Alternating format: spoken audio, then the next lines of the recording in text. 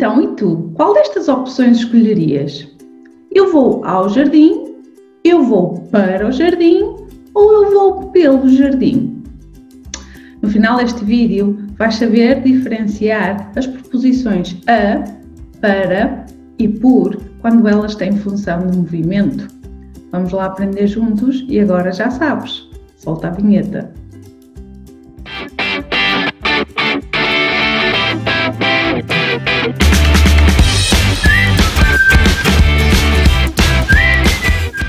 Há uma certa altura que, quando nós aprendemos português, temos que aprender a dizer a direção, ou seja, temos de conseguir saber dar a informação de como se vai do lugar A até ao lugar B. Aí nós então entramos em contacto com as preposições de movimento e que às vezes podem ser um pouco complicadas, dadas as suas pequenas diferenças. Então, desta vez, vamos ver estas três preposições, a, para e por, e quando é que elas se utilizam. Por isso, a seguir, o vídeo vai estar dividido nestas três partes. Vamos lá. Comecemos então pela primeira frase. Eu vou ao jardim. Achas que esta frase está correta? Está. Esta frase está correta. Isto significa que eu vou até a um ponto B, ok? Então eu vou até ao jardim, neste caso jardim é o ponto B, é o meu objetivo também é o jardim, mas eu fico lá pouco tempo. Significa que eu regresso, ok? Que eu volto para o ponto de partida. Então, a proposição a tem exatamente este significado significa curta permanência naquele local. É preciso ainda ter atenção que a preposição a tem contração, ou seja, há aqui uma ligação entre a preposição com o artigo definido. Por exemplo, nesta frase, eu vou ao jardim, temos a ligação da preposição a com o artigo u. Então, a mais u igual a ao. Podem ver aqui esta tabela onde estão as outras contrações. Não se esqueçam, isto é importante. Quando falamos em casa, eu vou a casa, aqui é uma exceção, ok? Aqui não existe, não se diz eu vou à casa. Vamos passar para o próximo. A frase eu vou para o jardim está correta? Está. Esta frase também está correta. O que é que isto significa? Significa que o jardim também é o meu ponto B, também é o meu, uh, o meu destino, mas significa que eu vou lá ficar durante mais tempo, durante muito tempo. Por exemplo, se eu for jardineira, então eu vou para o jardim porque vou ficar lá algumas horas. 8 horas, se for a minha profissão.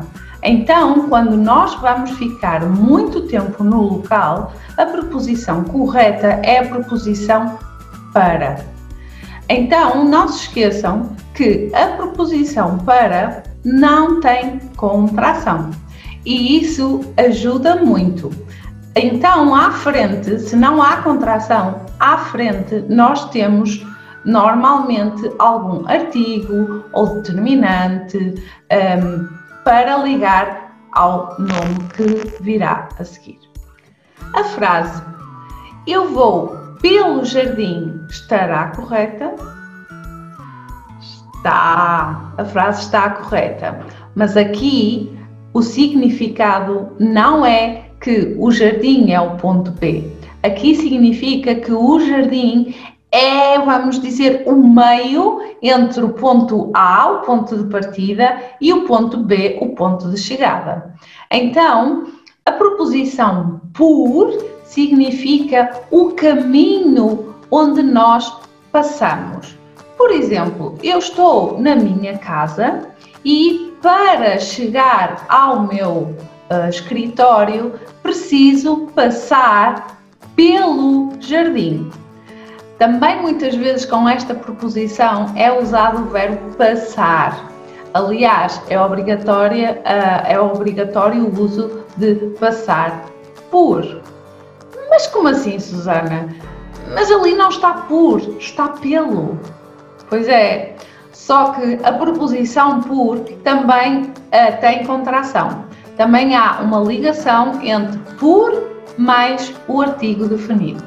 Então, por mais o fica pelo.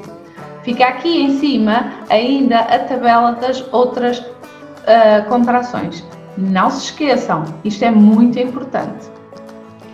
Então, tu neste vídeo aprendeste a diferenciar três diferentes proposições. A proposição a, que normalmente significa curta permanência, a proposição para, que é o oposto, então significa longa permanência no local, e a proposição por, que significa o caminho ou o percurso pelo qual nós passamos. E agora, queres tudo explicadinho assim num PDF? Queres, queres, queres? Queres exercícios para praticar com soluções?